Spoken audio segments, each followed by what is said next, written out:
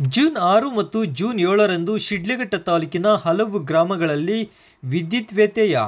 ಬೆಸ್ಕಾಂ ಅಧಿಕಾರಿಗಳು ದುರಸ್ತಿ ಕಾಮಗಾರಿಯನ್ನು ಕೈಗೆತ್ತಿಕೊಂಡಿದ್ದು, ಈ ಕಾರಣದಿಂದ ಶಿಡ್ಲಘಟ್ಟ ತಾಲೂಕಿನ ಹಲವು ಭಾಗಗಳಲ್ಲಿ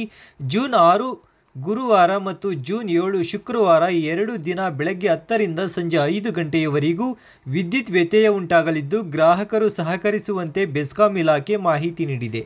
ಅರವತ್ತಾರು ಕೆವಿ ಚಿಂತಾಮಣಿ ತಳಗವಾರ ಮಾರ್ಗದ ಉನ್ನತೀಕರಣದ ಕಾಮಗಾರಿಯನ್ನು ಕೈಗೆತ್ತಿಕೊಳ್ಳುತ್ತಿರುವುದರಿಂದ ಅರವತ್ತಾರು ಬಾರ್ ಹನ್ನೊಂದು ಕೆವಿ ಚೀಮಂಗಲ ವೈಹುಣಸೇನಹಳ್ಳಿ ವಿದ್ಯುತ್ ಉಪಕೇಂದ್ರಗಳಿಂದ ವಿದ್ಯುತ್ ಸರಬರಾಜು ಆಗುವ H cross Attiganahalli, Basavapattana, K Muttakadahalli, Kannamangala, Chikkadasarahalli, Cheemangala, Chintadapi, Kalanayakanahalli, Kariyanapura Vaihunasenahalli Sheegehalli, Kundalagurki, Devaramallur, Gorumadagu Pindipapanahalli, Kanganahalli, Gollahalli, Kothanur, Kadishenahalli ಸುತ್ತಮುತ್ತಲಿನ ಗ್ರಾಮಗಳಲ್ಲಿ ಜೂನ್ ಆರು ಮತ್ತು ಜೂನ್ ಏಳರಂದು ಬೆಳಗ್ಗೆ ಹತ್ತರಿಂದ ಸಂಜೆ ಐದು ಗಂಟೆಯವರೆಗೂ ವಿದ್ಯುತ್ ವ್ಯತ್ಯಯವಾಗಲಿದ್ದು ಗ್ರಾಹಕರು ಸಹಕರಿಸುವಂತೆ ಕೋರಲಾಗಿದೆ.